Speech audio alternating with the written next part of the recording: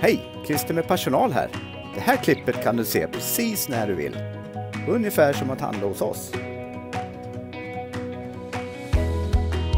Ja, Elliot, eh, första målet och du gör det borta i en CL-match. Hur känns det här? Eh, det känns bra. känns eh, fantastiskt faktiskt. Du har varit med och känt lite på det nu några matcher, men nu fick du spela rätt mycket då. Mm. Hur är det att lira här? Eh, nej, men det, det är både svårt ibland och eh, roligt. Eh, man måste vara på tå hela tiden och eh, ja, man kommer in i det eh, desto mer man spelar som idag. Så det blev lättare och lättare för mig tycker jag. Största skillnaden då?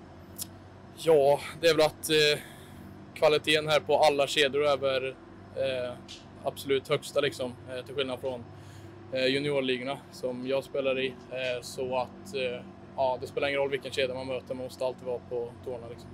Men viktigt mål idag eh, känns att du är med och bidrar på riktigt liksom. Ja, eh, jo, men precis. Eh, det var kul att man kände att man kunde bidra lite eh, inför eh, andra perioden där jag hade satt den i slutet på första. Så ja, men det känns riktigt gött för det.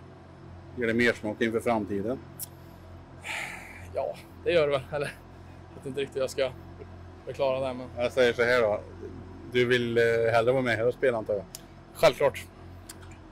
Ja, jag håller på att packas ihop här bakom, men vi håller på att packa ihop efter en eh, 4-3-seger efter förlängning. Lagkaptenen går in och stänker in den fyran där.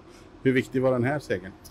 Eh, nej men såklart eh, viktig eh, och jag tycker att vi ändå över 60 minuter plus overtime vinner, vinner välförtjänt. Eh, jag vet inte hur vad skott, eh, skottstatistiken blev till slut, men 50, på ett 50 skott tror jag. Så att, 49-16 läser jag. ja, eh, så jag tycker vi gjorde en riktigt bra första period. Eh, sämre andra, lite naiva och lite sådär inte riktigt jobba lika hårt och sen tyckte jag vi var bättre igen i tredje så att det där 3-2 målet de fick kom lite som en kalldusch tyckte jag. Så att det var skönt att få in eh, 3-3 där med, med plockad målvakt och eh, lyckades vinna i, i overtime så att eh, vi, är- vi är nöjda. Återstår en match i den här eh, långa serien. Eh, Vi har satt oss i en bra position. Vad, vad blir viktigt inför sista matchen mot München?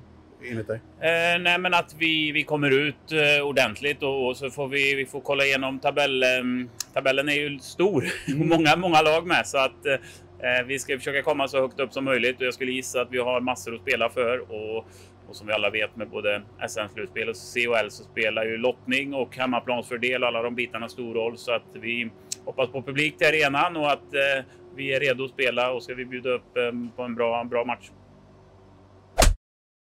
Jo då, här är det fortfarande öppet.